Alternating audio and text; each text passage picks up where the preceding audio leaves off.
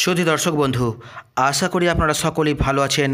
আপনাদের প্রিয় channel channel বেঙ্গলিতে জানাই আরও একবার স্বাগতম।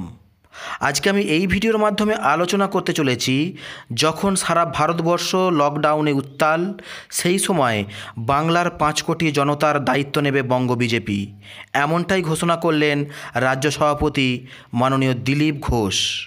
তো বিস্তারিত প্রতিবেদনে যাওয়ার আগে দর্শক বন্ধুদের আরও একবার মনে করে দিতে চাই, যদি চ্যানেলে নতুন হন অবশ্যই চ্যানেলটি সাবস্ক্রাইব করে পাশের নোটিফিকেশান বেলটি অন করে নিন।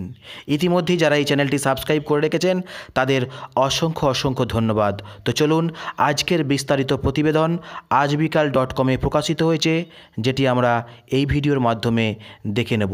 তো চলুন বিস্তারিত প্রতিবেদনে চোখ রাখা যাক। বাংলায় পাঁচ কোটি জনতার দায়িত্ব নেবে বঙ্গ বিজেপি। ঘোষণা দিলীপের। প্রত্যেক বিজেপি কর্মীকে পাঁচজন মানুষের খাওয়ার দায়িত্ব নেবেন, ঘোষণা করেছেন রাজ্য বিজেপির সভাপতি দিলীপ ঘোষ। দিলীপের মতে, রাজ্যে এক কোটি বিজেপি সদস্য রয়েছেন। তারা পাঁচ কোটি মানুষের খাদ্য যোগান দেবেন। দিলীপ বলেছেন, বিজেপির সর্বভারতীয় সভাপতি জগৎ প্রকাশ নাড্ডা নির্দেশ দিয়েছেন, বিজেপি কর্মীরা এই দুর্দিনে সমাজের গরিব মানুষকে সাহায্য করবেন।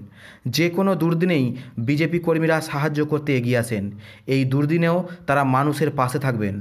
খুব তাড়াতাড়ি খাদ্য বন্টনের কাজ শুরু হবে। দিলীপের মতে বাড়ি বাড়ি গিয়ে খাদ্য বন্টন করলে কোনো অসুবিধা নেই। দুর্গতদের বাইরে, বাড়ির বাইরে বেরোতে দেওয়া হবে না। ধিক্কানিনাদ না করেও মানুষের পাশে থাকা যায়। আপৎকালীন পরিস্থিতির জন্য গৃহস্থের ঘরে দুশো থেকে চারশো টাকা থাকে।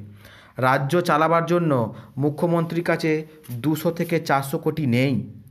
ভিডিও বার্তায় মুখ্যমন্ত্রী মমতা বন্দ্যোপাধ্যায়ের সমালোচনা করেছেন দিলীপ। তিনি বলেছেন, মুখ্যমন্ত্রী রাস্তায় রাস্তায় ঘুরছেন, কিন্তু মানুষ পরিষেবা পাচ্ছেন না। এদিকে উনি বলছেন, কেন্দ্র টাকা দিচ্ছে না। কি কাজ করছে? রাজ্যের টাস্কফোর্স জিনিসপত্রের অগ্নিমূল্য কেন? রাজ্যের হেল্পলাইন কাজ করছে না? একটাই নম্বর কেন? দশ নম্বর থাকা উচিত ছিল। রাজ্য আপাতত পুরো ভোটের ভবিষ্যৎ অনিশ্চিত। দু একুশ সালে বিধানসভা নির্বাচনে বিজেপি ক্ষমতায় আসতে চাইছে রাজনৈতিকভাবে। এই সময় গেরুয়া শিবিরের কাছে খুবই গুরুত্বপূর্ণ।